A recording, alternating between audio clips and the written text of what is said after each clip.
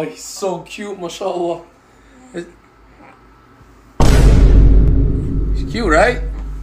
Cute baby. Can you excuse us for a minute? What? When are you gonna put a baby in me? Do you kiss your mother with that mouth, young lady? I'm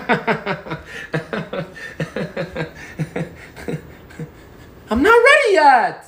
You're literally 60 and out of years. If I'm 16 Arab years, you're like fucking expired in Mexican years. I want a baby. And I want a million dollars. Sometimes we don't get what we want, Mary, okay?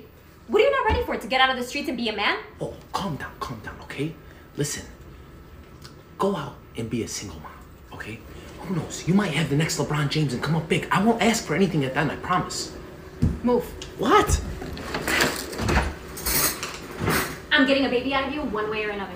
Um, no, you're not, sweetheart. Because if you do that, I'm gonna do this, okay? Frank's Red Hot. I put that shit on everything, kid.